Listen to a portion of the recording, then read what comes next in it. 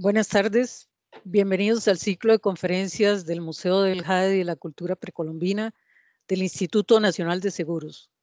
Para el museo es importante abrir estos canales de diálogo para ser consecuentes con el respeto a los derechos humanos, con los objetivos del desarrollo sostenible, en especial derechos humanos, eh, educación de calidad y promover la adaptación al cambio climático. Hoy tendremos la conferencia de recomendaciones de la OCDE sobre políticas públicas y pueblos indígenas, a cargo de la licenciada Yasmín Torres Granados Torres. La integración de Costa Rica como miembro del OCDE, Organización para la Cooperación y el Desarrollo Económico, plantea diferentes retos y ajustes en su normativa y políticas públicas en relación a los pueblos indígenas. Ha desarrollado una serie de recomendaciones para sus Estados miembros con el fin de garantizar y favorecer la igualdad y las oportunidades y el bienestar de esta población. La charla tiene como objetivo desarrollar el marco normativo de la OCDE relacionado a los pueblos indígenas y discutir si el ingreso de estos países latinoamericanos a esta organización como Chile, México y recientemente Colombia ha proporcionado impactos positivos o negativos en la población indígena. Los dejamos con la licenciada Yasmín Granados. Adelante, Yasmín. Bueno, buenas tardes. Primero que todo, muchas gracias a las personas que se han podido unir a la actividad y vamos eh, a hablar un poquito sobre lo que ha implicado para varios países el ingreso a la Organización para la Cooperación Económica y el Desarrollo. Porque es importante empezar a cuestionarnos de estos temas. Y esto, más allá de ser una decisión política del Estado de ingresar a una organización internacional, tiene incidencia en todos los ciudadanos, tiene incidencia en las instituciones, tiene incidencia a nivel normativo de cambios y también en el caso que vamos a analizar hoy, tiene incidencia en relación a los pueblos indígenas. Entonces, cuando empezamos a escuchar en los medios sobre el ingreso de Costa Rica a la OCDE, hay que empezar a cuestionarnos cuál va a ser ese impacto a nivel nacional. Siguiente, por favor. Primero que todo, ¿qué es la OCDE? Bueno, la OCDE es una organización multilateral enfocada en la cooperación internacional. ¿Cuál es su objetivo principal? Su objetivo se basa en promover políticas públicas en temas sociales, económicos, ambientales y también en temas de globalización. Principalmente su función es apoyar a los estados para contar con mejores políticas públicas y mejores normativas que ayuden al desarrollo sostenible. También una función muy importante que tiene esta organización, a diferencia de otras organizaciones multilaterales, es la generación de información. La OCDE tiene muchos instrumentos y comités que se dedican a recopilar información, analizarla y generar una serie de datos que pueden servir para la toma de decisiones. Siguiente, por favor.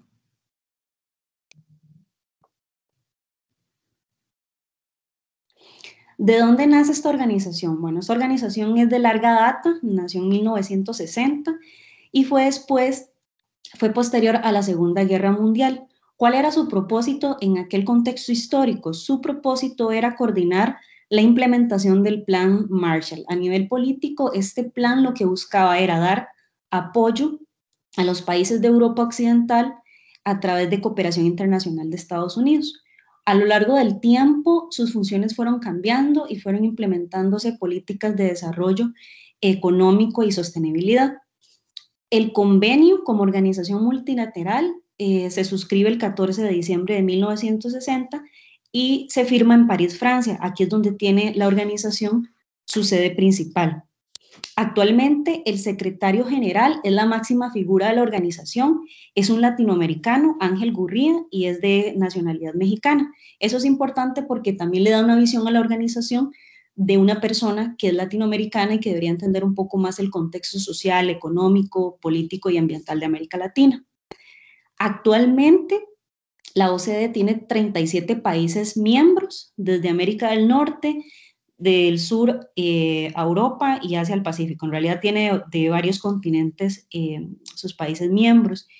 América Latina tiene una representación de tres países, ¿verdad? Chile, México, recientemente Colombia y Costa Rica ya están a fase final de ser admitido como miembro, están a fase de ratificación de los convenios.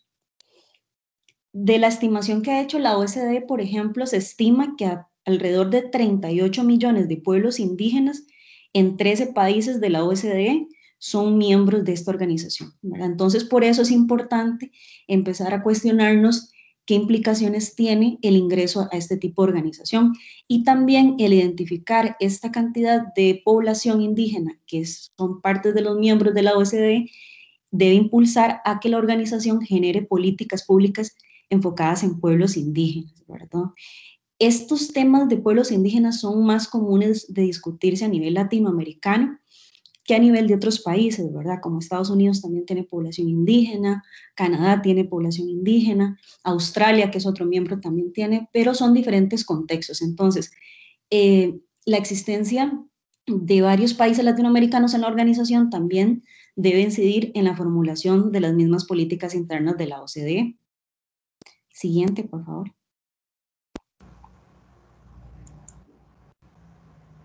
Este es un mapa, más o menos, algo que es muy importante. La OCDE tiene 37 países miembros. Sin embargo, alrededor del mundo, muchos países han adoptado sus políticas eh, normativas o políticas públicas a lo interno de sus países sin necesidad de ser miembros, a través de algún tipo de mecanismo como memorandos de entendimiento o también se toman como normas voluntarias para principalmente para, para formulación de políticas públicas. Siguiente, por favor.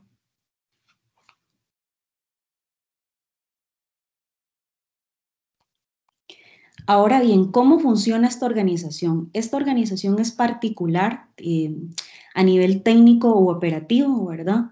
Eh, se maneja a través de un consejo que se encarga principalmente de la supervisión y la dirección estratégica de la organización y en estos todas las decisiones son tomadas por consenso. Después, ¿cómo se operativiza el trabajo? Esto es bueno empezar a, eh, relacionarnos con, con el lenguaje de la OCDE, ¿verdad? Cuando la OCDE habla de comités, que es muy normal, recomendación de tal comité o de este comité, es porque son sus órganos de trabajo técnico, que se encargan mucho de la, de la recolección de datos, de la discusión y de la implementación de las políticas que promueve la organización de la organización. También todos estos organismos están representados por los estados. Esto es muy importante. Para trabajar en la OCDE, uno tiene que ser, eh, tener su nacionalidad de uno de los países que son miembros. No puede ser de otro país. Eso es algo interesante porque lo que buscan es que las decisiones y la implementación de las normativas corresponda a personas que conozcan un poco el contexto de, de los países. La Secretaría también tiene una función de ejecución, ¿verdad? Está formada por el secretario general y los secretarios adjuntos, las direcciones, y es lo que forma parte de la, eh, de la Secretaría. Todo esto está formado por personas de los países miembros. Siguiente, por favor. Ahora bien, esto es algo más de, derecho, ¿verdad? Cuando un país ingresa a una organización internacional, no solo es el ingreso, ¿verdad? Cuando uno ingresa, un Estado ingresa a una organización, tiene tanto derechos como obligaciones, ¿verdad? Y también el país, al suscribir el convenio y al ser ratificado, en nuestro caso por la Asamblea Legislativa, y ser miembros parte, empezamos a ser sometidos a una serie de normativa interna que tiene la organización. Si usted ingresa, básicamente si usted ingresa a mi organización, usted se tiene que eh, ajustar a mis reglas. Algo muy interesante que tiene la OCDE, si ustedes han visto en la prensa, es que eh, Costa Rica fue evaluado para ser parte de esta organización. No solo es decir, el Estado, quiero participar o ser, eh, ser parte de esta organización, sino que antes del ingreso se le hace una serie de evaluaciones para saber si el candidato es idóneo o no.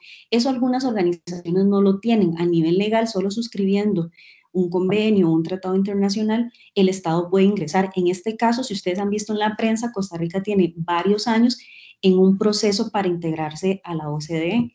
¿Qué hace la OCDE? Empieza a revisar políticas, empieza a revisar normativas del país, les pide ajustes una serie de ajustes, tanto de política pública como de normativa, para poder ingresar. Costa Rica ya cumplió ese proceso y está en la fase final, que es ratificación del convenio. Digamos que pasó el examen para ingresar a esta nueva organización. ¿Qué tenemos que saber o qué es importante a nivel legal eh, en relación a la OCDE? La OCDE tiene una serie de instrumentos jurídicos que es muy importante identificarlos porque algunos son vinculantes y algunos no son vinculantes. ¿Cuál es la diferencia? Si un país ingresa a la OCDE, hay una serie de instrumentos que son de aplicación obligatoria. Si no se cumplen o si el país no logra implementarlos, eh, una de las consecuencias que pueden eh, suceder es que, sea, eh, que se le limite su participación o también que se le expulse de la organización. Cuando hablamos de normativa vinculante, esto es importante. Cuando uno ve, tal vez uno no tenga conocimiento y empieza a investigar o a leer sobre la OCDE, uno escucha, bueno, hay tal decisión, hay tal acuerdo, hay una declaración, recomendación, pero lo que tenemos que tener claridad es cuál es su fuerza vinculante, qué va a vincular al Estado y qué no. Dentro de los instrumentos vinculantes se encuentran las decisiones, que son instrumentos jurídicos que los países adherentes em, voluntariamente deciden obligarse a implementar a lo interno de sus países. Las decisiones, algunos países pueden, tienen la facultad por un tema de soberanía, de decidir no adherirse a, determinada decisión, so pena de tener algunas consecuencias a nivel de la organización, ¿verdad? Yo no me puedo, es como, cualquier organismo, ¿verdad? No me puedo integrar a una asociación y oponerme a todo o no querer implementar nada, ¿verdad? No tendría mucho sentido. Otro instrumento son los acuerdos internacionales, que ya estos son instrumentos legales que son negociados en el marco de las discusiones de los estados y que deciden todos suscribir y implementar. Esto es muy importante porque si son acuerdos internacionales, en el caso de Costa Rica o la mayoría de países de, Latinoamérica, van a requerir de una ratificación a nivel legislativo. Ahora bien, la normativa no vinculante, que en realidad para mí, y para, mi opinión, es de la más importante de la OCDE y que también va a tener una serie de impactos, tanto positivos o negativos como se puedan determinar, son las normativas que se consideran que no son vinculantes, como por ejemplo las recomendaciones. Las recomendaciones son importantes porque son instrumentos legales que les otorgan una fuerza moral a su implementación. ¿Qué quiere decir esto? La OCDE le recomienda a los países una serie de implementación de políticas públicas, ¿verdad? Y depende de la voluntad del país implementarlas o no. También encontramos las declaraciones Ah, bueno, las recomendaciones son documentos más técnicos, más extensos. Las elaboran principalmente los comités, los comités temáticos de ambiente, de agricultura, de comercio exterior. Las declaraciones son instrumentos más de declaraciones de voluntad, de que queremos orientarnos hacia una meta o un objetivo a, largo plazo, ¿verdad? También tenemos algunos, algunos instrumentos de menor rango, como son los acuerdos, los entendimientos y otros que son instrumentos jurídicos que se pueden suscribir, por ejemplo, tal vez un memorando de entendimiento entre países de Latinoamérica que pertenecen a la OCDE y que tal vez tengan alguna temática de interés que trabajar, o puede responder a una serie de, de situaciones. Algo muy importante, uno a veces se debate como, como abogado, como, como ciudadano al discutir estas cosas, cuándo es vinculante y cuándo no. A nivel jurídico, estos instrumentos de carácter vinculante tienen su aplicación y también pueden tener una consecuencia legal. Sin embargo, la no vinculante es lo que nosotros llamamos en el derecho normas de derecho blando, por decirlo así, o soft law, que quiere decir que aunque no sean obligatorias a nivel de derecho internacional, tienen una vinculación más importante, que es una vinculación hasta moral de los estados. No tiene sentido que un país ingrese a la OCDE y se oponga a implementar las recomendaciones que tiene la organización entonces, inclusive a veces son más coercitivas las recomendaciones que algún acuerdo internacional. ¿Por qué? La OCDE periódicamente hace revisiones de los estados de, los estados de los países en temas de política pública y desarrollo y normativa y va evaluando si usted está cumpliendo o no. Entonces, volvemos como se le conoce eh, a la OCDE como pertenecer a este club no solo es, no solo ser, sino también hay que parecerlo, ¿verdad? Que eso implementa una serie de cuestionamientos porque en esta organización están países que tienen un nivel de desarrollo económico mucho más grande, como Estados Unidos, como Canadá, y países también de una economía un poco más, más pequeña, ¿verdad? Entonces, eso a nivel político es interesante porque no, muchas veces las negociaciones no es entre pares o no es entre iguales. La siguiente, por favor.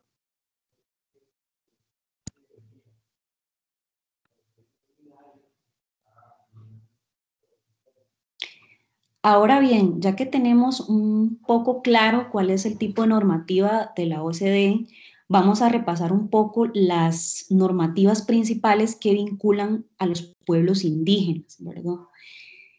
Como les dije, a pesar de que los países miembros de la OCDE tienen una población indígena bastante grande, deberían tener muchas más políticas, en realidad los instrumentos eh, suscritos no son muchos, o sea, si uno hace una revisión, andan alrededor de 12, algunos ya están derogados. Y entonces vamos a repasar los principales para que podamos entender un poquito qué es lo que recomienda la OCDE en relación a los pueblos indígenas. Uno de los principales instrumentos es la decisión 0355-2007. Recordemos que las decisiones son vinculantes. Si Costa Rica logra formalizar todo su proceso, eso es una decisión que le va a aplicar desde el día 1 en que se hace la ratificación del convenio de la OCDE. Esto es una decisión que trata el tema de certificación de materiales de producción, de producción forestal objeto de comercio internacional. ¿Qué tiene que ver esto? La OCDE hace una serie de recomendaciones para cuando se hace trasiego eh, de recursos forestales a nivel transfronterizo. Entonces, ¿qué nos dice en relación a ese tipo de, de, negocios o ese tipo de, de actuaciones? Nos dice que se tiene que certificar el origen de la madera que provenga de territorios indígenas, ¿verdad? Si se saca eh, recursos forestales de un territorio indígena, tienen que certificarse su origen porque vamos a eliminar el comercio ilícito de especies forestales y también vinculadas a pueblos indígenas. Ya cada país a lo interno irá haciendo ajustes con su normativa. Por ejemplo, si Costa Rica en su momento no tiene una certificación de origen forestal eh, de los pueblos indígenas, tendría que implementarla, tendría que, que, crear el instrumento, que hay una serie de cuestionamientos, ¿verdad? A veces eh, la OCDE recomienda algo, pero tal vez no es lo que es más ajuste al país. Algo muy importante que tiene esta decisión establece que tanto los pueblos indígenas como, eh, como el Estado tienen la capacidad de definir qué es originario o es autóctono. Esto es algo muy importante. Cuando nosotros hablamos de pueblos indígenas, no podemos ponerlos a todos en, una misma, no sé, en una misma posición, porque los pueblos indígenas son, son dinámicos, son distintos, ¿verdad? No es lo mismo, inclusive uno diría, no es lo mismo un pueblo indígena de Australia, a un pueblo indígena canadiense, a un pueblo indígena en Estados Unidos y un pueblo indígena en América Latina. Entonces, ¿qué es originario y tradicional? Le corresponde en ejercicio de su autonomía establecerlo a los pueblos indígenas. ¿verdad? Eso es muy importante y me pareció un gran avance de esta decisión de la OCDE en relación a pueblos indígenas, porque muchas veces las decisiones inclusive te dicen en, en, los glosarios o los conceptos, esto es autóctono o esto es tradicional. Y la decisión nos dice que no, que eso corresponde al pueblo indígena. Esto es muy interesante, la OCDE, si uno revisa, porque tiene pueblos indígenas y, o pueblos autóctonos o tradicionales que son abismalmente diferentes, ¿verdad? Como es un, pueblo indígena en Australia, algún pueblo indígena o comunidad tradicional, como le llaman en, en países de Europa. Entonces, tratan de poner los conceptos los más abiertos para que puedan ser aplicables. ¿Qué busca esta decisión? Muy importante, la trazabilidad de los recursos forestales y evitar la incidencia de delitos. Es muy conocido que en Costa Rica, tanto en áreas silvestres protegidas como en territorios indígenas, un delito común es el trasiego de madera, ¿verdad? Entonces, ¿cómo funciona este delito si no hay trazabilidad? Se sacan los recursos forestales de manera ilegal de un territorio, de un área silvestre protegida, se mete al mercado nacional de madera y se, se exporta a, nivel internacional y no hay un trasiego de esa información o dónde viene el origen de estos recursos. También menciona esta decisión que tienen que haber beneficios compartidos. Eso es muy importante y uno empieza a, a notar que la OCDE empieza a trasladar conceptos como, como los beneficios compartidos que, por ejemplo, se contemplan en el convenio de diversidad biológica. Eso es algo también que me pareció eh, importante rescatar, que tienen que existir beneficios compartidos a nivel de política. Otro instrumento, también estos instrumentos son como por temáticas, ¿verdad? Son muy interesantes, son dinámicos. Esta declaración del 2019, la 0448, establece las políticas para construir mejores futuros para regiones, ciudades y áreas rurales. Esto es muy importante. Aquí la OCDE lo recomienda a los países miembros tener un enfoque regional inclusivo, que no solo las políticas públicas se tienen que, eh, se tienen que construir en sus centros de población o en sus centros políticos, ¿verdad? Como, como en el caso de Costa Rica, en el Valle Central, sino que se tiene que regionalizar. También cuestiones importantes nos dicen que las políticas públicas tienen que responder a las características culturales diferenciadas, ¿verdad? No puede solo, no puede omitirse si es una política eh, no sé, de agua, una política de consumo energético, hacerla igual para todos porque se involucra pueblos indígenas, hay cuestiones culturales que hay que tomar en cuenta, esto es importante. Un aspecto principal que es retomado del convenio 169 de la OIT es que la construcción de estas políticas para el bienestar de la ciudadanía tiene que enfocarse en procesos de información y de consulta. La construcción de las políticas públicas tiene que tener mecanismos de información, participación y consulta indígena. Eso es muy importante para la construcción de, las políticas públicas. Siguiente, por favor.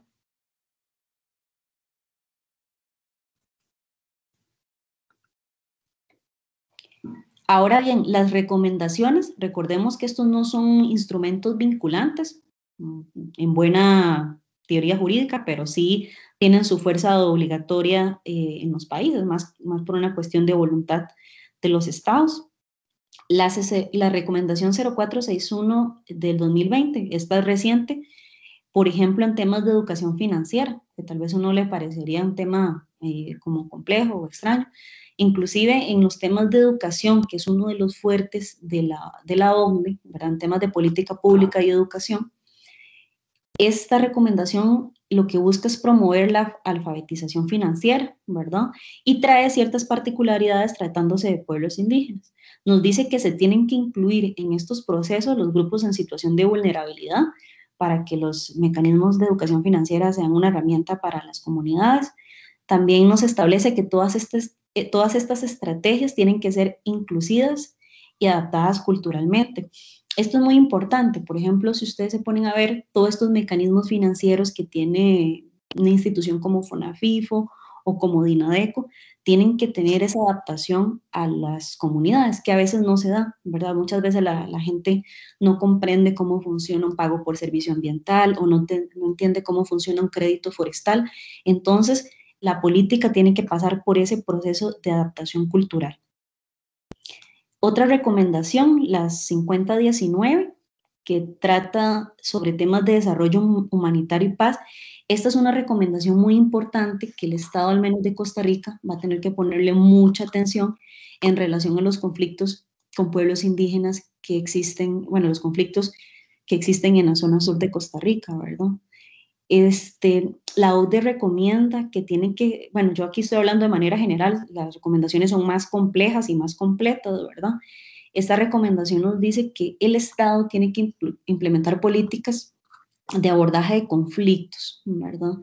Que tiene que siempre hacer un análisis de riesgos, un análisis de necesidades, identificar las vulnerabilidades de las comunidades y también trabajar sobre las causas fundamentales de esos conflictos. ¿verdad? Tiene que haber un abordaje integral de la resolución de conflictos. También establece que los estados tienen que promover la resolución de conflictos y disputas. Por ejemplo, Costa Rica ha avanzado bastante con la ley de resolución alterna, resolución alterna de conflictos, como instituciones como la Dirección Nacional de, la, de Resolución Alterna de Conflictos del Ministerio de Justicia. Es, y lo que trata es que el Estado se comprometa a atender los conflictos que hay en las comunidades. Esto es muy importante. Siguiente, por favor. Esta otra recomendación, no, ahí estamos en la misma. Yo creo que la, no, la, no la pasaste. ¿Puedes pasar la siguiente, Carolina? Bueno, esperemos un poquito porque... Ok, perfecto. Acá está. Eh, otros temas que han eh, emitido recomendaciones, la OCDE, por ejemplo, muy importante en temas de medio ambiente e incentivos a la exportación. Aquí hay instrumentos que Costa Rica ya tiene, eh, bueno, que existen a nivel normativo, tal vez su implementación no sea la mejor. Por ejemplo, esta recomendación, la 0339, le dice a los estados que tienen que hacer una medición de los impactos ambientales potenciales relacionándose a proyectos que incluyan medio ambiente o algún tipo de exportación, por ejemplo. Este, no sé, es más para, más para países que tengan como explotación minera, ¿verdad? Como un proyecto de explotación minera puede impactar en una comunidad. Entonces, tiene que tener estudios de impacto. En Costa Rica existe el estudio de impacto ambiental y otros instrumentos para medir este tipo de, de impactos. Algo muy importante que creo que la OCDE, si ven esta, esta no es tan reciente, es del 2012, empieza a implementar, es que se tienen que incluir en, en la medición de los impactos todas aquellas cuestiones que tengan que ver con la propiedad cultural o los aspectos culturales de los pueblos indígenas. Si ustedes recuerdan el caso del Diquís, que fue muy, muy controversial hace algunos años, una de las justificantes era que en los estudios de impacto ambiental el tema cultural era como se veía como algo accesorio, ¿verdad? Como vamos a enfocarnos en el tema ambiental, en los impactos ambientales, pero el tema cultural, ahí, ahí ejemplo, ¿verdad? Si ustedes han visto noticias en la prensa sobre las nuevas, este, bueno, la construcción de carreteras que empiezan a aparecer una serie de cementerios eh, precolombinos o empiezan a encontrar ciertas, piezas, lo que tenemos que inculcar en las personas o en la gente que ejecute proyectos, sea el gobierno o sean privados, es que los bienes culturales también tienen una importancia como un bien, como un bien este, material, como un recurso natural, ¿verdad? Eso es muy importante porque en Costa Rica por mucho tiempo la discusión se centró en los temas ambientales, pero no en los temas culturales. Entonces hay que cambiar el chip y empezar a establecer, eh, establecer la importancia que merece a todo el tema de patrimonio cultural, la afectación que pueda tener el patrimonio cultural a través de algunos proyectos que se implementen. Esta, esta recomendación también muy importante, establece que en relación a las normas de corporación financiera internacional, se tienen que incluir aquellas que tengan que ver con pueblos indígenas y patrimonio cultural. Eso es muy interesante. Si ustedes hablan tal vez con un contador o alguien que tenga que ver con, temas financieros o económicos, los bienes culturales antes no se contabilizaban. Entonces, por ejemplo, algo muy importante en temas de impacto es la reparación del daño. Claro, entonces usted hacía una reparación del daño y usted decía, no, yo reparo eh, el, impacto que tuvo la desviación del cauce para la, de la represa, reparo este, el bosque que voy a talar para construir la, la represa. Y habían un montón de bienes culturales que no eran reparados, ¿verdad? Eso es toda una discusión que no es el objeto de hoy, de si se puede cuantificar o no un bien cultural eh, o si se puede monetizar un bien cultural, que eso es algo más, más, más, más colectivo, más espiritual. Pero lo cierto es que también, más allá de, monetizarlo o no, es que tienen una importancia y si hay un daño a los bienes culturales, también tienen que ser indemnizados. Esta otra, otra recomendación, la 0268, tiene que ver con la integración de manejos de zonas costeras. Esto es importante, que en Costa Rica se han dado casos interesantes. Esta recomendación lo que establece es que los estados tienen que integrar los valores culturales en el manejo eh, costero, ¿verdad? De las zonas costeras. Hay pueblos indígenas que sí tienen eh, colindancia con zonas este, marítimas, algunos no, pero ven en el caso de Boruca, que es un, si hay alguien de, de Boruca en la, charla nos puede comentar más, que tuvieron una situación con el SINAC para poder aprovechar este molusco, el múrice, ¿verdad? Que genera la tinta para los textiles.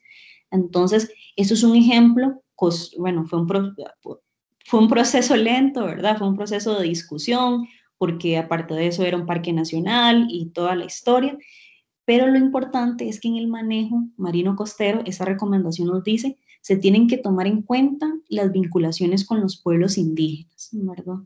También en relación al manejo marino costero, nos dicen que se tienen que hacer mitigación de los conflictos, ¿verdad? En las zonas costeras y el manejo de recursos naturales con pueblos indígenas, porque siempre el manejo de recursos naturales puede generar una serie de tensiones entre el Estado y los pueblos indígenas. La siguiente, por favor. Otras dos que son relevantes, me parecen bastante importantes estas dos. La 0427 tiene mucho que ver con el sector privado, con el sector de empresas principalmente. Y ahorita vamos a ver más adelante por qué esta es muy importante. Yo creo que es una de las recomendaciones de las cuales los países miembros violan más a nivel de, normativa de la OCDE. Lo que dice esta directriz, eh, las empresas cuando van a hacer alguna inversión en un país hacen algo que se llama una debida diligencia.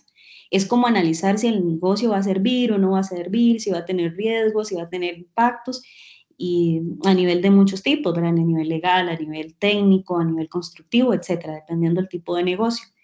Lo que nos dice eh, esta recomendación que va dirigida expresamente al sector empresarial es que estos tienen que identificar y gestionar los riesgos que vayan a haber en sus operaciones en los distintos países.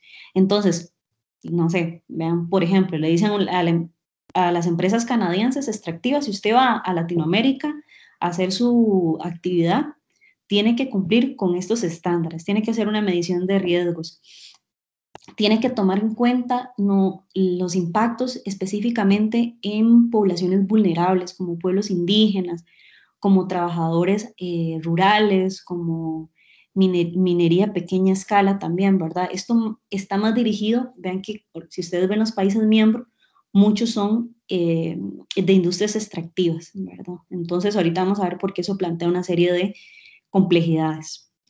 Otra importante, ¿verdad? Eh, que eso todo, es todo un tema, ahora todo el tema de los datos en Costa Rica es de, de preocupación o de ponerse a pensar más, ¿verdad? Lo que nos dice esa directriz, la 0347, retoma conceptos del convenio 169 y de, de la Declaración de Pueblos Indígenas es que toda la información que se colecte o que venga de las comunidades, de colectivos indígenas o organizaciones, tienen que ser aprobados por las comunidades para poder acceder a esos datos, ¿verdad? Tiene que haber consentimiento previo por parte, consentimiento previo informado por parte de la comunidad para utilizar esos datos, ¿verdad? Esto es muy importante porque a nivel de investigación, eh, universitaria, a nivel de investigación de políticas, a eh, nivel de políticas en las instituciones, ¿verdad? Ya tuvimos un caso muy grande, ustedes saben cuál es el tema de datos en Costa Rica. Si los datos que se colectan para generar, por ejemplo, por, si colectamos datos para generar política pública indígena sin el consentimiento de las, de las comunidades, sin que tengan claro para qué van a hacer esos datos, quién los van a manejar, eh, quién los va a custodiar, ahí estamos incumpliendo con la recomendación 0347, que eso, eso es, una, es una recomendación que me pareció muy importante para poder garantizar que los datos que se tomen de las comunidades sean utilizados de buena manera o que las comunidades sigan teniendo custodia de sus datos, ¿verdad? Este, vean el caso complejo que está viendo el país en relación a una, a una institución, por decirlo así, de que no podemos acceder a los datos de la gente sin tener algún objetivo claro y sin tener su consentimiento. Siguiente, por favor. Otra también que me parece muy importante eh, es la 0326, que tiene que ver con el uso de instrumentos económicos para promover la conservación y el uso sostenible de la biodiversidad.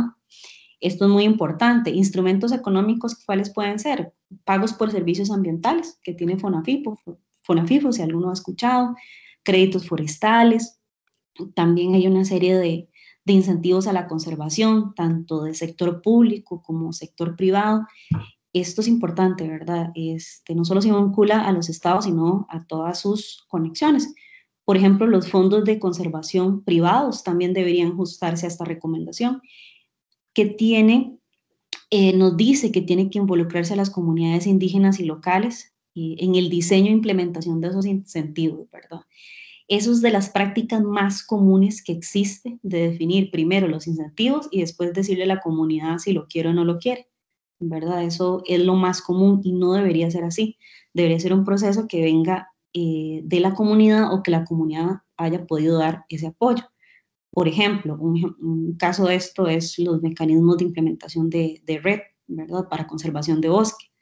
Entonces, me parece una, una, recomendación innovadora tratando de decirle al Estado, vaya, construya con las comunidades los, los incentivos para la conservación.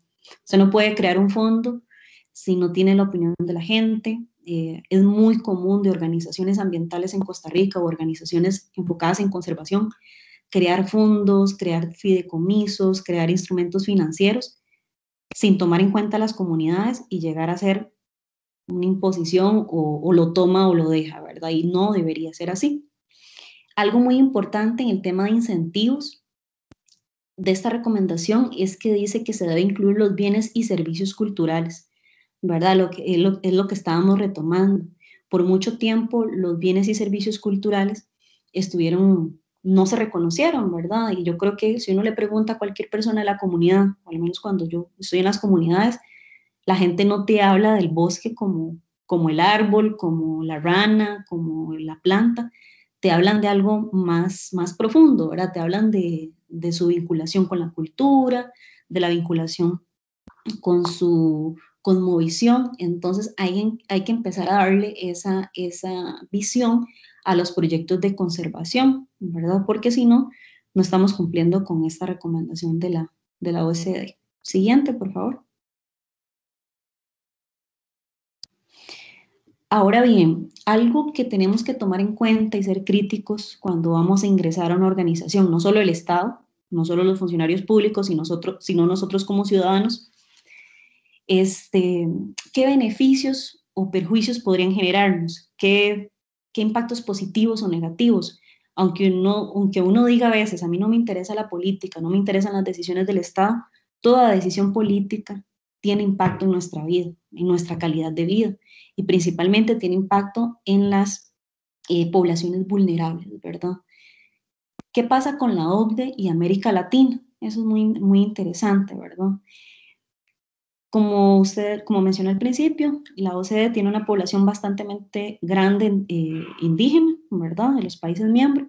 Y si ustedes ven los países que actualmente eh, pertenecen a la OCDE, Chile con un 11% de población indígena, también Colombia con 3.4 de población indígena y México que alcanza un 15,1% de población indígena. Estos datos son de el Observatorio de Población de la CEPAL, son los datos más recientes que encontré, pero por ejemplo, esa, ese número va a crecer cuando Costa Rica se integre y, se, y aporte su 2,4% de población indígena, ¿verdad?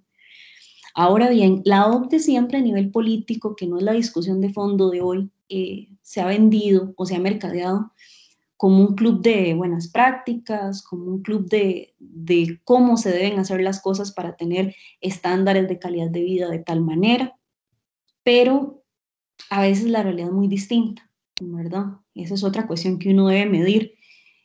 Eh, el país, Costa Rica, tiene una tendencia política histórica de, suscribir cuanta cosa le pongan en la mesa, es como el, el que cae bien del colegio, ¿verdad? Quiere estar en todo, ese quiere estar en todos los comités, quiere jugar, quiere estar en el equipo de fútbol, quiere estar en todo, ¿verdad?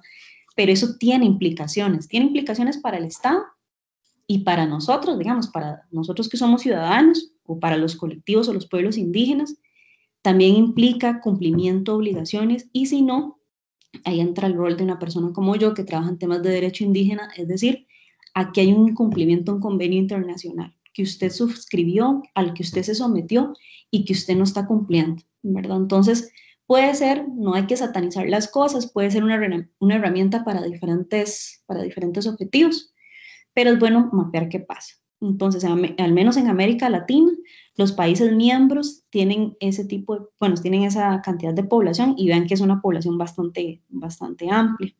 La siguiente.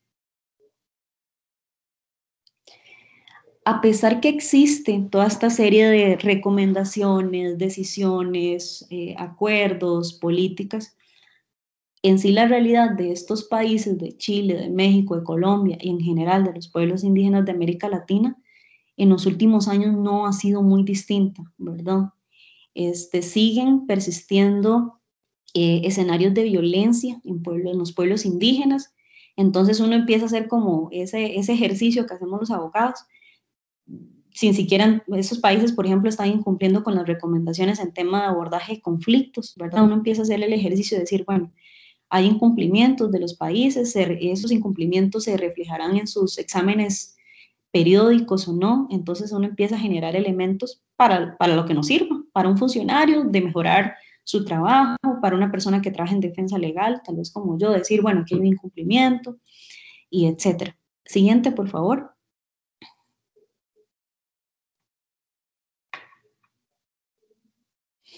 Si ustedes, ¿verdad? Empezamos a hacer el mismo ejercicio. Eh, por ejemplo, México, que es un país miembro, y Colombia, tienen muchos problemas en el tema de, deforestación por la palma, ¿verdad? Y tienen un problema en, el tema de importación de madera y exportación eh, de madera ilegal que se saca de los pueblos indígenas. Entonces, ven, empezamos a hacer ese mapeo de la conflictividad y uno dice, es que aquí hay algo como que no, no me cuadra, ¿verdad? las obligaciones que tienen los estados y su nivel de implementación o eficacia. Yo siempre me, enfoco más en el tema de eficacia. Yo puedo suscribir todos los convenios, todas las recomendaciones, pero ¿cuál es su eficacia? ¿Cuál es su aplicación real? No sirve eh, suscribir convenios, no sirve integrarse en organismos si usted no está eh, convencido de aplicar esa normativa. ¿verdad? Entonces, en México y en Colombia, vean que siguen problemas en temas de, de trasiego de madera a nivel internacional. Siguiente. Algo muy complejo, que vean, vean la relevancia de esto, ¿verdad?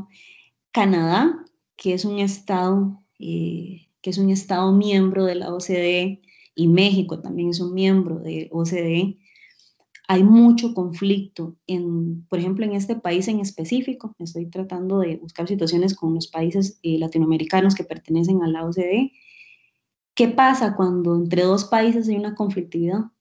O sea, en esta, por ejemplo, en este tipo de conflictos eh, mineros que se dan mucho con Chile también, el tema minero y principalmente mineras canadienses, eh, su Estado miembro está incumpliendo, ¿verdad? Entonces, ¿qué rol va a tener la OCDE cuando dos países están entrando en un conflicto por incumplimiento de su normativa?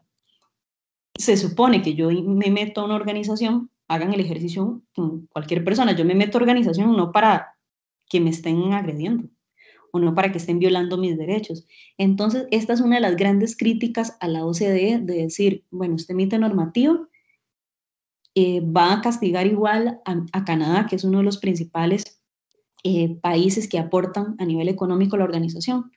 Entonces ahí empieza todo un tema político, económico, tal vez no sea el objeto de hoy, que hay que pensar, ¿verdad? Que hay que discutir y tratar de incidir.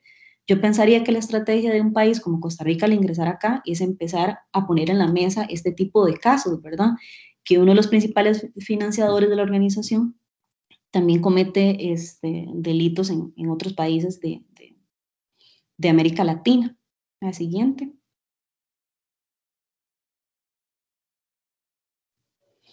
Otros temas que tocan las recomendaciones, bueno, que tienen, que señalan las recomendaciones de la OCDE todo el tema de consulta previa y de consentimiento previo informado a los pueblos indígenas. Por ejemplo, todos los días en América Latina pasa algún caso con un pueblo indígena. Si ustedes ven las noticias, pueden hacer una búsqueda rápida. Siempre hay conflictos, ¿verdad? Las comunidades han denunciado que los procesos de consulta, por ejemplo, este es el caso de Colombia, que Colombia ya es miembro de la OCDE, de decir que los procesos son procesos ya encaminados, que son procesos vacíos que es una consulta que ya más bien está armada para que la gente nada más diga sí, no y no se cuestione o pueda proponer cosas, ¿verdad? Entonces es ahí donde uno empieza a tener esa discordancia de pertenecer o no a una organización de este tipo. La siguiente, por favor.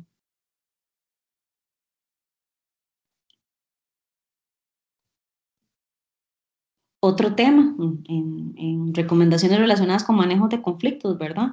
América Latina, si en, general tiene niveles de, violencia y de crímenes contra defensores ambientales de pueblos indígenas eh, muy alta, ¿verdad? Si ustedes revisan, casi todas las semanas sale alguna noticia, alguna agresión de un líder indígena o de una organización indígena en América Latina, ¿verdad? Y no es la diferencia de estos países que forman parte de la OCDE. Entonces, volvemos a preguntarnos qué están haciendo los estados por implementar este tipo de cosas. Siguiente, por favor.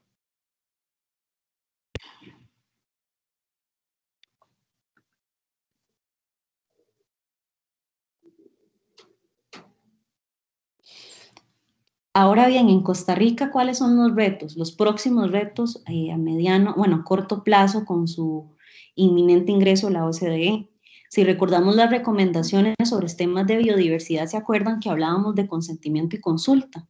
Bueno, Costa Rica ahorita tiene, eh, no ha entrado a la organización oficialmente y ya desde ya ya tiene retos que resolver. Por ejemplo, todo el tema de implementación del, del protocolo de Nagoya, de acceso a recursos fitogenéticos en pueblos indígenas. Una de las grandes críticas a este proyecto de ley es que no se han realizado los procesos de consulta adecuados y es una norma que estuvo a punto de aprobarse, ¿verdad?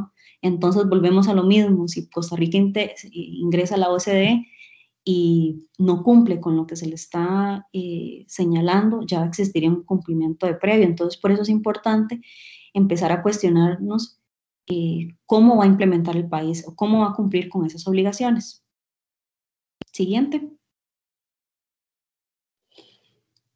Otro tema que ya está sobre la mesa, que ya arrancó, ¿verdad? Es el tema de la construcción de la política pública indígena en Costa Rica, que es un proceso liderado por el gobierno. Si recordamos lo que repasamos, ¿verdad? Las políticas públicas, ¿cómo tienen que ser? Tienen que ser inclusivas, tienen que ser participativas, tienen que haber procesos de consulta, las comunidades tienen que dar su consentimiento. Entonces, desde ya Costa Rica también tiene una obligación con la OCDE al su momento de ingreso oficial de implementar todo este tipo de prácticas en la construcción de política pública indígena, ¿verdad? Hay una serie de recomendaciones para este tipo de procesos que Costa Rica tendría otras herramientas para, para implementar. Pero bueno, no, no a todo, yo soy una persona muy optimista, siempre trato de ver las cuestiones positivas a, a las cosas, ser crítico y ser optimista, ¿verdad? Estamos en una época donde si caímos en el pesimismo y en el conflicto no, no avanzamos, tampoco la idea es estancarse. El ingresar a la OCDE también presenta una serie de oportunidades que tanto las organizaciones como los estados y sus instituciones pueden aprovechar. Por ejemplo, la OCDE sí tiene algo muy importante a diferencia de otras organizaciones, es su capacidad de ejecución e implementación la UDESI va muy directa, implementemos, implementemos políticas, implementemos normativa. No es como otras organizaciones que uno nada más va ahí a las conferencias a conocer gente cada cierto tiempo, que no tienen ninguna incidencia real, nada más ir a, aburrirse ahí un, a un, centro de convenciones.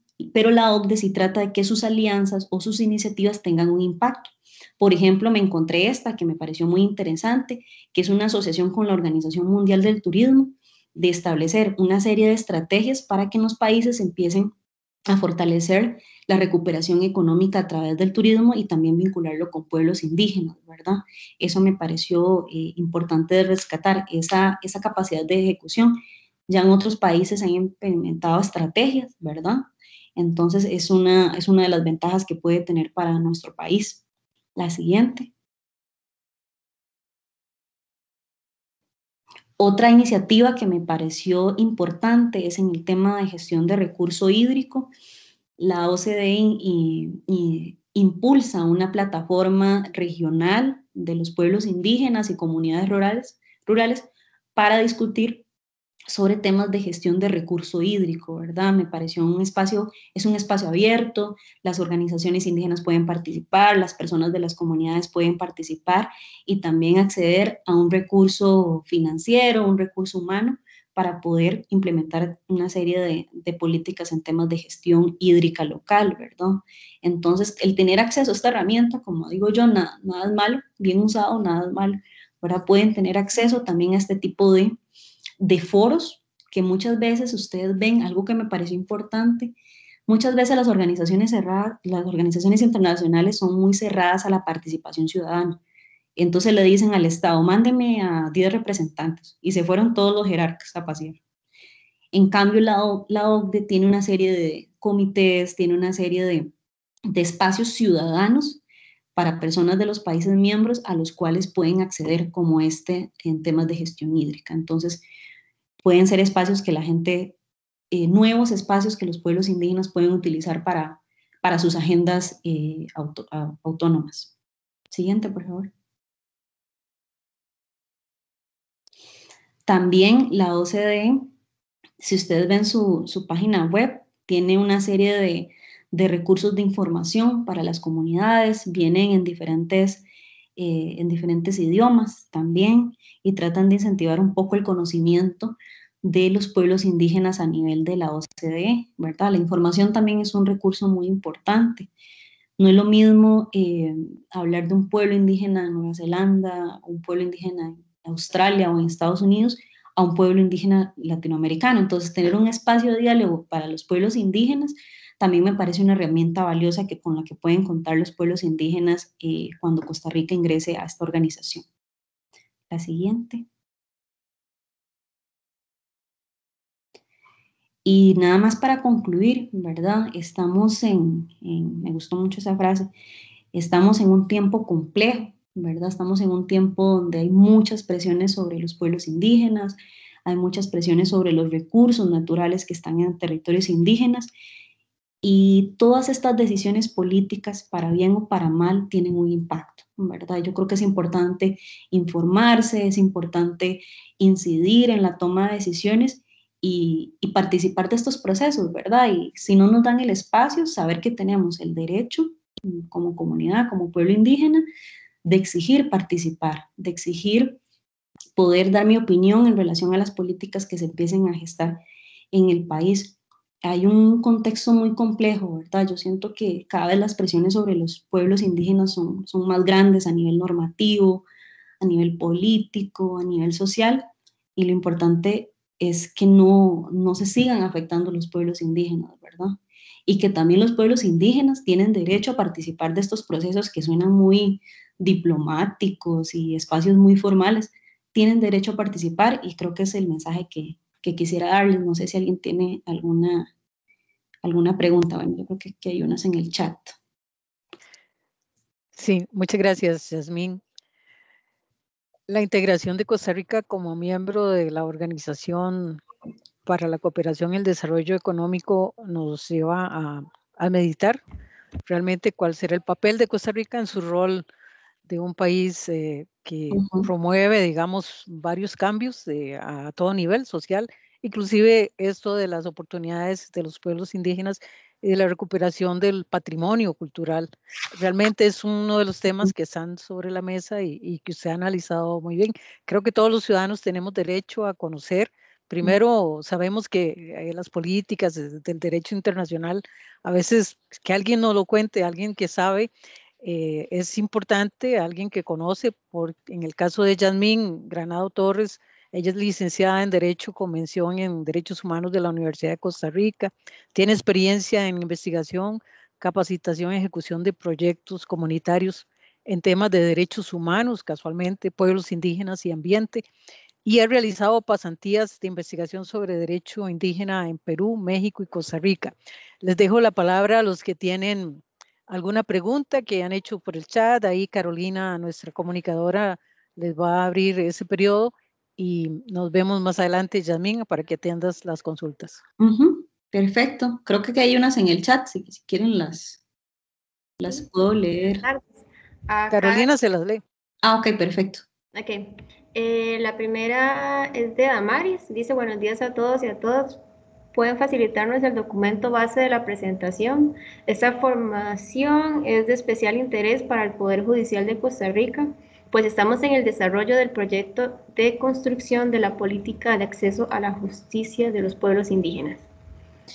Eh, sí, claro, yo les puedo dar mi, correo y, me, y yo les facilito la información. Igualmente acá Javier nos dice que si se puede compartir la presentación de PowerPoint. perfecto. Nada más me mandan, las personas que la quieran, quieran la información, me escriben un correo y yo se las reenvío. Perfecto, gracias. las comparto al, al Museo del JADE para que también nos pueda compartir. Claro. Eh, Mariana dice, ¿cómo asegurar que al entrar a esta organización Costa Rica va a cumplir con todas, con todas esas recomendaciones? En un contexto donde sabemos lamentablemente que no se ha cumplido la ley 1977 sobre el territorio indígena en zonas como Salitre y China Quichá. Ok, asegurar el cumplimiento en este momento es, prematuro decirlo. Digamos, más bien el país ya está incumpliendo desde ya, desde ya porque el conflicto persiste en, en, en la zona, ¿verdad? lo que tiene que hacer Costa Rica, o sea, el país se obliga desde el momento en que se ratifica el convenio, se obliga a cumplir con estas recomendaciones. Lo ideal es que el país siga las recomendaciones de la OCDE en temas de manejo de conflictos y si no los, si no los implementa, la OCDE hace algo que se llama como el examen periódico, una cuestión así, que cada cierto tiempo hace una evaluación de los países para ver cómo están implementando. Entonces, uno eh, ahí se reflejaría ese incumplimiento, ¿verdad? También como ciudadanos, no sé, lo, pienso desde el lado de ciudadanos, casi siempre estos organismos tratan de contactar a gente del gobierno, tratan de contactar a organizaciones eh, indígenas, organizaciones locales, entonces también es un también es una obligación o un rol importante de las organizaciones de reflejar esto, ¿verdad? Yo, yo hallo muy importante, por ejemplo, todo el tema de divulgación de la información. Inclusive ahora con todo el tema de tecnología, se los puedo asegurar que los mismos comités hacen esta serie de investigación cualitativa, de revisar medios de comunicación, ¿verdad? Entonces, eh, de parte de los ciudadanos, de nosotros, es, es evidenciar desde ya esos incumplimientos, ¿verdad? Que no se maquillen, porque uno queriendo, bueno, como Estado pasa mucho, ¿verdad? Que queriendo quedar bien empieza a maquillar las cosas y ese no es el ideal, hay que ser responsable. Si no estamos haciendo algo bien, reconocerlo y empezar a trabajar en eso.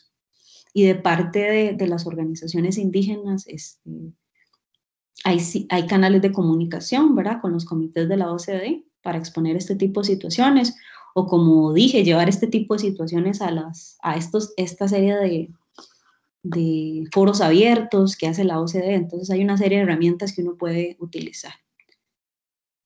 Gracias, Janine.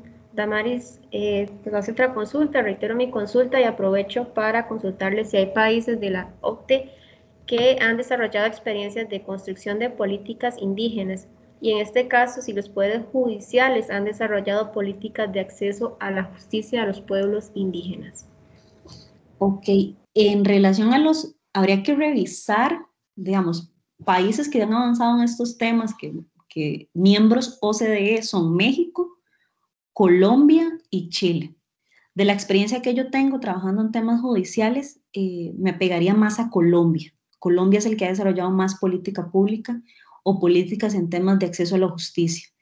Para mí, este, a Damaris le puedo pasar mi, mi tesis de licenciatura, donde yo analizo un poquito el abordaje en el Poder Judicial de los temas de, eh, los temas de violación de derechos de pueblos indígenas pero a nivel latinoamericano, como les digo, estos, como digo, estos tres países, para mí como abogada y que investigo, para mí Colombia es un referente en temas de judiciales y de, acceso a la justicia de pueblos indígenas.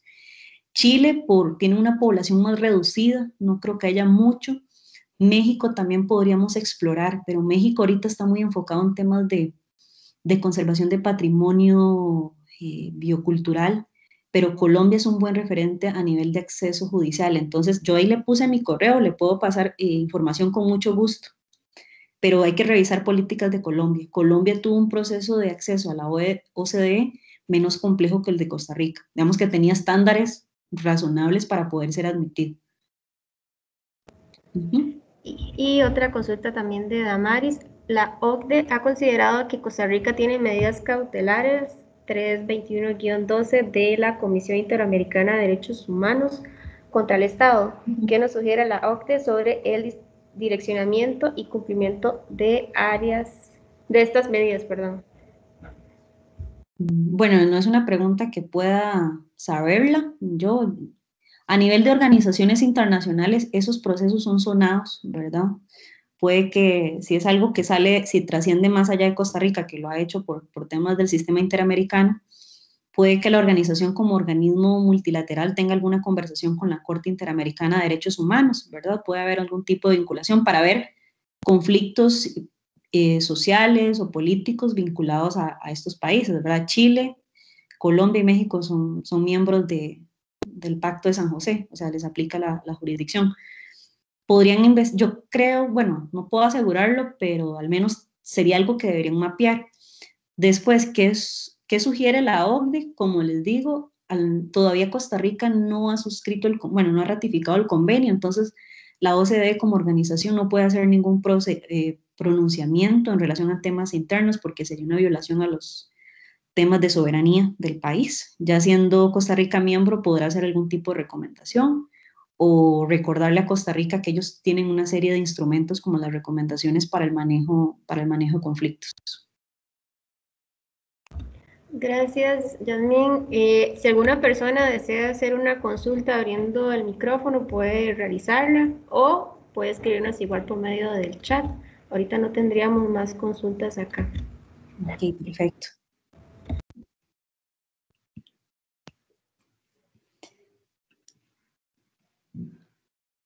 Bueno, si tienen alguna otra consulta. Yasmin, eh, Muchas gracias, realmente siempre compartir con usted y mucho gusto. La parte esta de la reivindicación de los pueblos indígenas y la parte de los temas de, derechos humanos, casualmente, que es una de las políticas importantes que hay que apoyar, debe estar dentro de toda esta integración eh, hacia esta organización, ¿verdad? Eh, no sé si no hay ninguna otra pregunta, creo que Yasmin les dejas su correo y pueden comunicarse con ella. Bueno, ahí creo que levantaron la mano, entonces, eh, Carolina. Janori Rojas. Si gusta puede abrir el micrófono. Eh, buenas tardes. Eh, muchísimas gracias, Yasmín, por, por, la información. Em, siempre, siempre muy clara, ¿verdad? Y siempre creo que, que eso es importante. Es como los temas de, que tienen que ver con, con organizaciones así como multilaterales, ¿verdad? Y, y de, que incluyen varios países, son complejas de entender y, y, creo que eso lo señalaba muy bien Yasmin, que hay mucho, a ver, mucho, mucho que revolcar, ¿verdad? De, de, de, esto, de, esta, de este tema. Tal vez mi pregunta más eh, específica sería, digamos, en este, en este de adherirse, digamos, Costa Rica, eh, cuáles serían, digamos, los, los entes fiscalizadores primeros, digamos, a los que se le presenta como todas estas recomendaciones o demás. O sea, como hay un ente, por ejemplo, eh, que, entonces, que sea como el Ministerio de Trabajo manda tal informe y ese es el primer informe que le llega, digamos, a las personas allá, por decirlo así. Porque, eh, como bien lo mencionabas, yo creo que aquí, eh, sea como sea, no se puede olvidar que eh, pues la OCDE también es, tiene, digamos, una estructura eh, pues política económica, digamos, sí, eh, en eso o bajo ese lema, digamos, los pueblos indígenas también tienen que ser considerados bajo su propia perspectiva de desarrollo. Y eso es esencial si hablamos de, no sé, un ejemplo para mí son los pagos de servicios ambientales, que no en todos los territorios ha sido beneficioso, digamos, sino que se ha prestado también bueno, para, para algunas cosas de influencias, ¿verdad? Y demás, y que eso tiene que considerarse si estamos hablando, ¿verdad?, de, un tema inclusivo y de participación, eh, no solo de comunidades en general, sino incluso en términos de, eh, de género. Entonces creo que, que, que por ahí sería mi, mi, pregunta más que todo. Y eh, sí, muchísimas gracias. Gracias, Janori. Sí, bueno, las organizaciones multilaterales tienen diferentes esquemas para para funcionar y tener el enlace con los estados. Al final de cuentas, eso es un tema diplomático. Es igual como ser miembro de la ONU o ser miembro de la Organización Mundial del Comercio. Va, eh, existe una persona, el país, ahorita inclusive hay un pleito sobre eso, el país designa a una persona representante y a una comitiva representante que van a ser, eh, van a ser los bendecidos de irse a vivir a París, ¿verdad? Tiene que existir una representación de Costa Rica en la organización. Después en Costa Rica también el Ministerio de Relaciones Exteriores, que es el, el organismo encargado de las relaciones bilaterales a nivel internacional, sería el enlace, ¿verdad? Después, cómo maneja el, el, Ministerio de Relaciones Exteriores en relación al resto de la institucionalidad. Hay, bueno, el ministerio tiene la obligación, por ejemplo, si le solicitan información laboral o de estadísticas de acceso a la justicia, es el ministerio que va a tener que recabar esa información con la institución que corresponde. Normalmente se maneja así, ¿verdad? Este, hay un, un, tema complejo con las organizaciones internacionales para que esos informes o esa información no sea maquillada en el camino, que pasa mucho, porque a nadie le gusta decir que incumplió algún convenio internacional, eso es algo delicado a nivel diplomático, permiten que existan, por ejemplo, se hacen consultas eh, a instituciones que tienen que tener una función de neutralidad, por ejemplo, la Defensoría de los Habitantes o la Contraloría General de la República. Que serían entes como más, más, este, más neutrales, por decirlo así. Pero también, como les dije, ah, es probable que hagan procesos abiertos de consulta en algunos temas, que se consulten a ciertos expertos. Lamentablemente, bueno, no lamentablemente, la realidad es que así funciona, ¿verdad? Este, a veces es muy dirigida la cosa pero ¿qué puedo hacer yo como ciudadana? Recordemos que en Costa Rica tenemos el derecho a la participación, al acceso a la información pública. Si yo quiero promover un tema o una agenda, si yo soy de una comunidad indígena y me interesa el tema, por ejemplo, acceso a recursos biogenéticos, yo voy a estar y a involucrarme en esas discusiones. El problema es que si la gente no participa después, para mí no se puede quejar, ¿verdad? Este, si mi NAE, no sé, soy, si por ejemplo, uno tiene derecho a revisar los informes que envía MINAE al Ministerio de Relaciones Exteriores en, un tema específico y tengo derecho a revisarlo, a cuestionarlo, a mandar observaciones, ¿verdad? Pero ahorita es incipiente, o sea, los exámenes periódicos eh, duran un par de años en aplicarse, ¿verdad? Pero igual, es un organismo internacional, al final de cuentas, eh, una herramienta muy poderosa es la comunicación, ¿verdad? Si yo no puedo acceder a los espacios normales, también existen, otros mecanismos de incidencia, medios de comunicación, publicaciones científicas. Entonces, yo lo digo como abogada y como ciudadana. Entonces, si yo por las vías normales no puedo acceder a esa información, hay, hay otros recursos que uno puede usar. Participar en esos foros, o sea, el punto principal es que la organización conozca la realidad de las cosas, no solo una, una, una visión de lo que sucede en Costa Rica, ¿verdad? Porque como les digo, a nadie le gusta decir que está incumpliendo un convenio internacional. Entonces, como organización, como pueblo, yo lo pienso más de esa, de esa manera, o ciudadanos normales, nosotros podemos usar esos recursos, ¿verdad?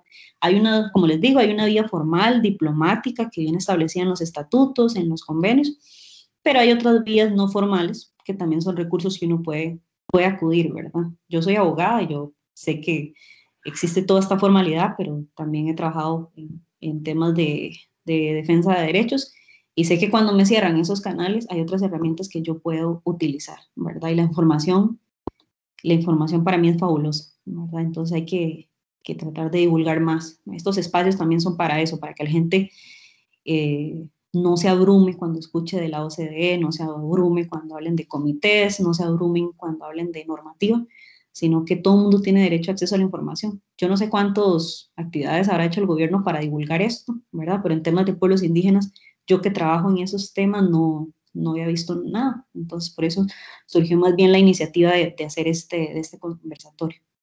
Entonces, esa sería mi, mi aporte. Más bien, muchas gracias a todos. Gracias, Janine, y gracias a Yanori. Ya no hay más consultas, entonces eh, le doy el pase a Vicky. Muchas gracias, Jasmine. Muchas gracias, Carolina. Mucho gusto. Bueno, eh, realmente, como hablábamos al principio, esto es un espacio de diálogo. Eh, lo que se necesita es informar a, la, ciudadanía. Realmente es un, un, análisis serio, investigativo de de la parte de, de Yasmín y creo que, que, eso es importante. Entonces, les agradecemos a ustedes por su atención. Mañana tendremos, bueno, también queda grabada esta conferencia en el, en el canal de YouTube de, del Museo del Jade para que ustedes la puedan accesar también a las personas que estaban interesadas en, en las notas. Y mañana tenemos una conferencia que es sobre un tipo de esculturas muy interesantes que son los chacmoles, que son como figuras que están como acostadas, e, en, hechas en piedra, em, excavadas en el sitio arqueológico eh, Las Mercedes en, en, en Guásimo, en Limón. Entonces yo creo que es interesante también para que sigamos con este diálogo. Muchas gracias a todos y muchas gracias, a por su tiempo. Queda abierto el espacio, Yasmín, para sus análisis y eh, a ustedes también por su atención. Muchas gracias. Muchas gracias. Buenas tardes. Buenas tardes.